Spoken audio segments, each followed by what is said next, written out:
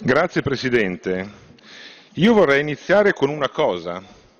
Io vorrei iniziare esprimendo tutta la solidarietà di quest'Aula, la vicinanza assoluta di questo Parlamento nei confronti di quegli agenti che ieri sono stati aggrediti a Torino in modo criminale mentre compivano il loro dovere e che hanno rischiato, rischiato parecchio e che se i colleghi non fossero usciti dalla questura per aiutarli non sappiamo come sarebbe finita.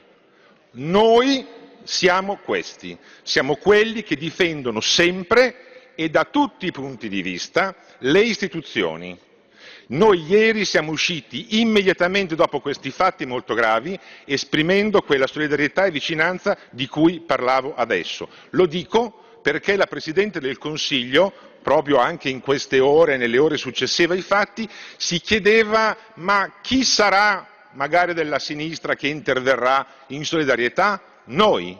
Io però non ho sentito la stessa attenzione e la stessa vicinanza della Presidente del Consiglio dopo i fatti di Pisa. E questo mi ha molto stupito.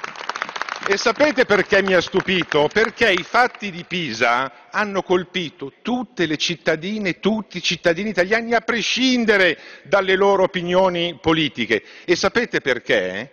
Perché i fatti non si sono svolti come in qualche modo ha raccontato il ministro Piantedosi, come se fosse, non lo so, lo sbarco in Normandia, l'assalto a un fortino, la presa della Bastiglia lì c'erano un centinaio di ragazzi esattamente uguali a quelli che fino a pochi minuti fa erano su queste tribune, che sono esattamente i nostri figli.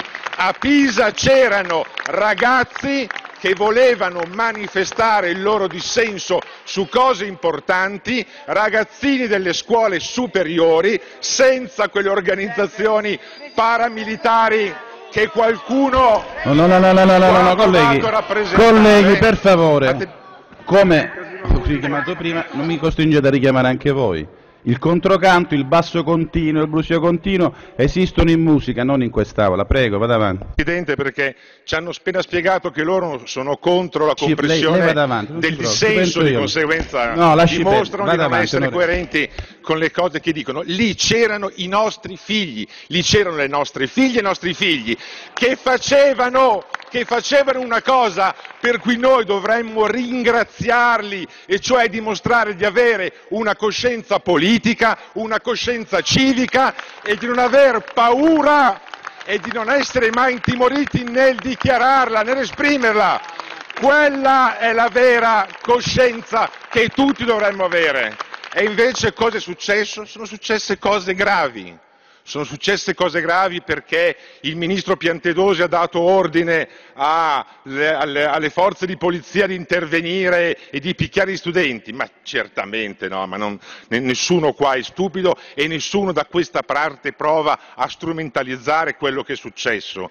A Pisa è successa però una cosa sbagliata? Per cui si devono cercare le responsabilità?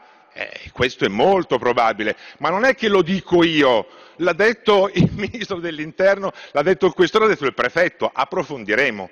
A me sembra assolutamente evidente, dopodiché devo dirvi come è stato gestito l'ordine pubblico in due manifestazioni molto complicate dell'ultimo fine settimana a Milano? Molto bene.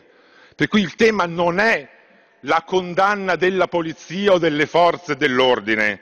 Qui il tema è il controllo democratico di come viene gestito l'ordine pubblico e più in generale di come agiscono le forze di polizia. Questo è un pezzo di democrazia che è utile ai cittadini ed è utile alle stesse forze dell'ordine. Allora qui noi non accettiamo quell'accusa che sta avanzando sui mezzi di informazione tramite dichiarazioni anche della Presidente del Consiglio e oggi anche, me ne dispiaccio, del Ministro Piantedosi di strumentalizzazione. Se c'è qualcuno che sta provando a strumentalizzare quello che è accaduto, siete esattamente voi. E l'avete messo nero su bianco in queste ore, attaccando la sinistra come se fosse quella che fomenta. Ma fomenta cosa? Quella è la libera opinione delle persone e lo Stato, cioè tutti noi e voi come governo, ha il dovere di tutelarli insieme alla sicurezza pubblica. La libertà d'espressione è uno dei diritti che non deve essere comprimibile in una democrazia liberale. Vi chiedo, voi vi sentite in una democrazia liberale o no? Perché altrimenti c'è un problema.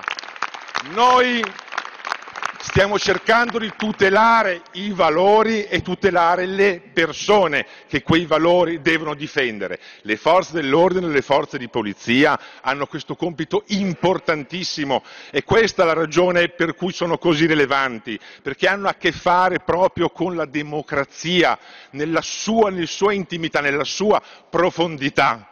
E allora io dico, ma voi, a parte le parole, ma cosa state facendo per le forze dell'ordine? Ma voi lo sapete che sono 800 giorni e per cui non dite potete farlo voi perché mo è da mo che siete al governo, che aspettano il rinnovo del contratto?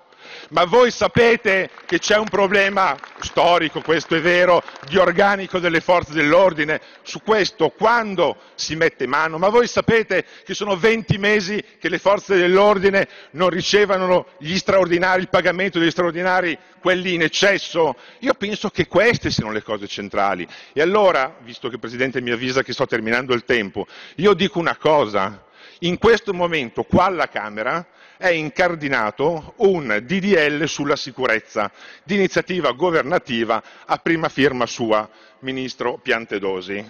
Lì dentro ci sono alcune cose, io la direi così, ne mancano molte, siamo disponibili a ragionare su cosa mettere lì, anche con coperture economiche a favore delle forze dell'ordine, e poi c'è una cosa che però non funziona. Si chiama articolo 11, Nell'articolo 11 il DDL a prima firma Piantedosi dice che non sarà più un illecito amministrativo ma sarà un reato, cioè codice penale, il blocco della circolazione fatto dalle persone senza alcun mezzo, col loro corpo. Il che vuol dire che se tre ragazzini si mettono a protestare davanti a scuola e bloccano il traffico, si beccano due anni di galera. E voi ci dite che in questo momento in Italia non c'è un clima che vuole limitare il dissenso? Voi mi dite che quelle circolari del Ministero dell'Istruzione non vogliono fare esattamente questo? E questa è l'idea che avete in testa. Noi abbiamo in testa tutta un'altra idea d'Italia. Grazie. Colleghi.